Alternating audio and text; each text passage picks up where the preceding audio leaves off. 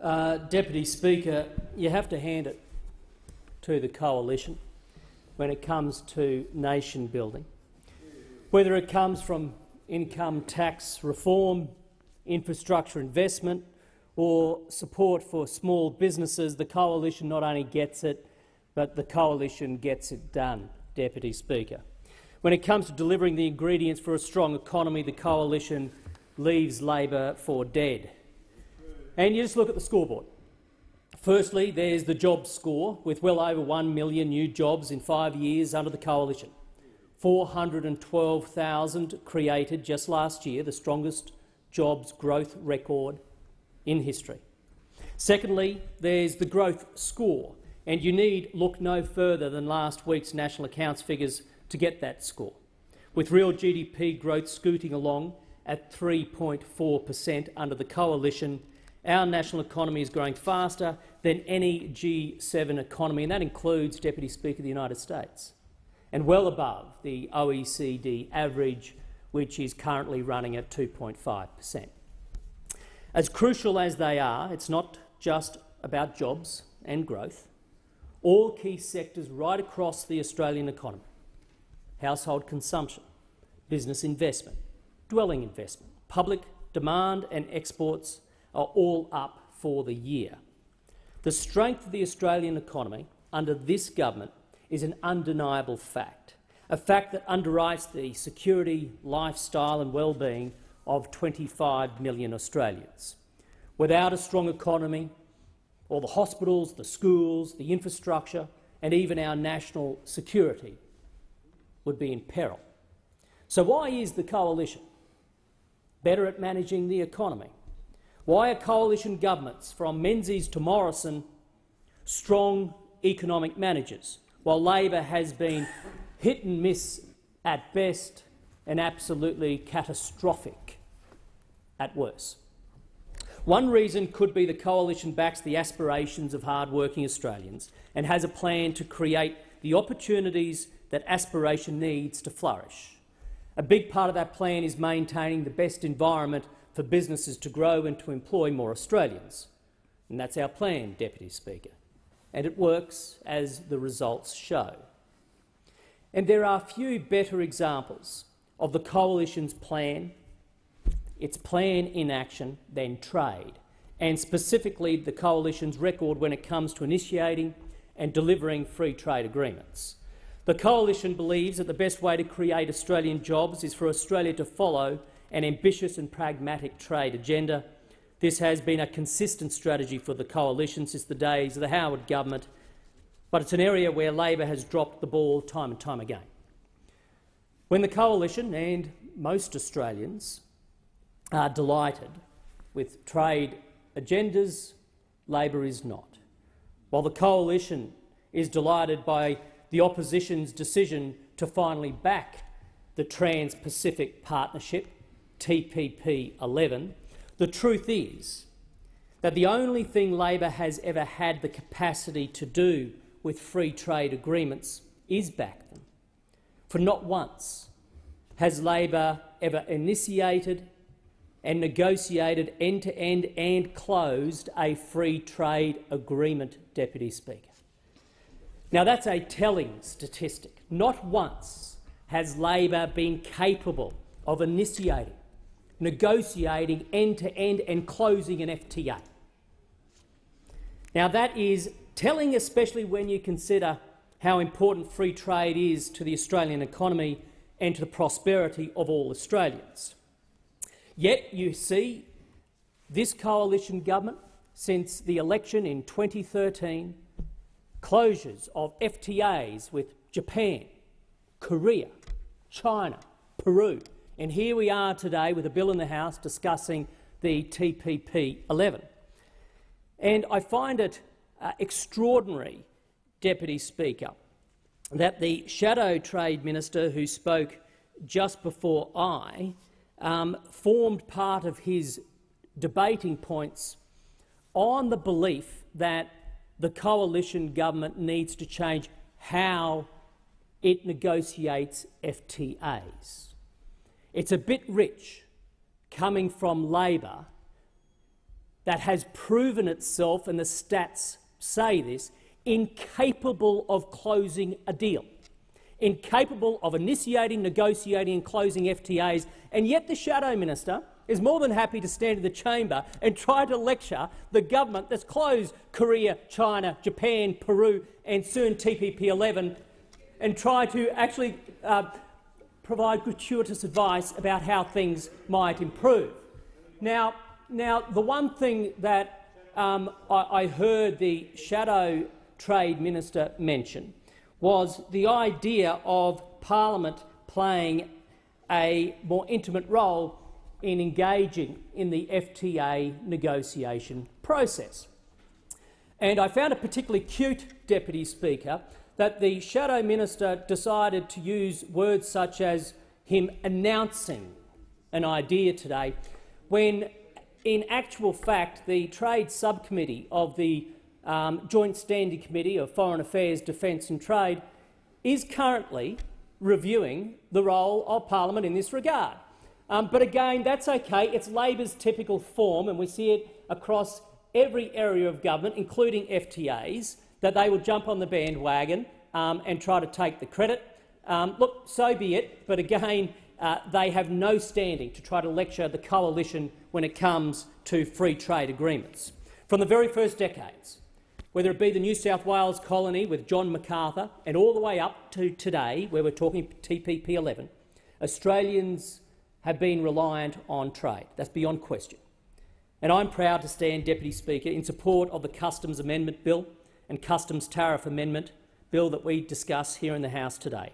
These bills will amend the Customs Act and the Customs Tariff Act to introduce new rules of origin and introduce new preferential customs duty rates for goods imported into Australia from nations that are parties to the TPP-11 and in so doing formally ratify that agreement.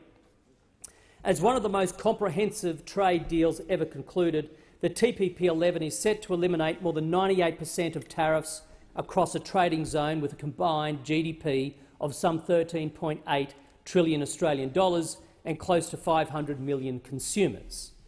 The geographic and economic scope of the TPP-11 is immense. Already, even before the treaty comes into force, nearly one quarter, 24 per cent of Australia's total exports, worth almost $88 billion, billion dollars, are to TPP-11 countries. This is set to grow substantially once the TPP-11 comes into force, being some 60 days after formal ratification by the first six member countries. It is therefore essential that Australia is among the first six nations to ratify the treaty, with Singapore, uh, Mexico and Japan already having ratified the deal, and others close to completing the process.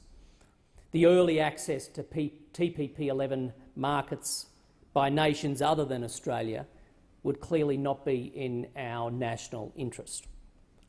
The direct benefit to Australian farmers, producers, manufacturers and service providers in improved market access and a boost to exports will be significant.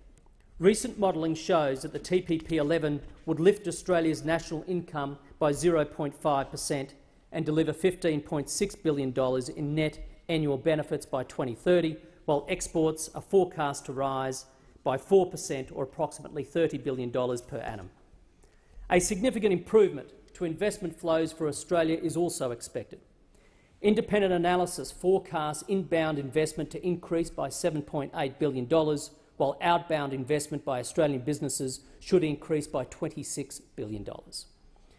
There are also very tangible benefits for producers and exporters, courtesy of the TPP-11, including significantly reduced tariffs on Australian beef imported into Japan so that within two years Australian beef will enjoy a 13 per cent tariff advantage over US beef. Improved access for Australian dairy products imported into Japan, Canada and Mexico. New access for Australian sugar to Japan, Canada and Mexico. The elimination of all tariffs on sheep meat, cotton, seafood, wine, raw wool, horticulture and manufactured goods across the free trade zone. Exporting professional services We'll also see a significant reduction in regulatory risks, including improved levels of transparency, to help Australia, Australian service providers complete, compete freely and on an equal footing.